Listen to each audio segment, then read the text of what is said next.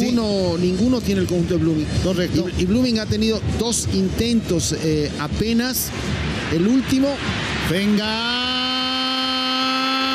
Fuera.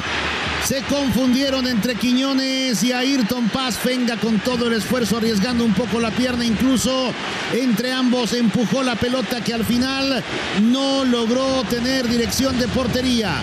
Tras un saque largo, Arce que puntea, habilitado, pase, confía. Quiñones no sale a tiempo. Y Fenga por poco marca el primero. no, totalmente se queda el lateral, ataca el balón. El delantero brasileño por eso le gana la posición. Solo que como llegó incómodo, no pudo darle dirección. Yo te iba a decir, esta ocasión o jugada o intento del conjunto de Blooming llega después del minuto 20 Tigo Sports.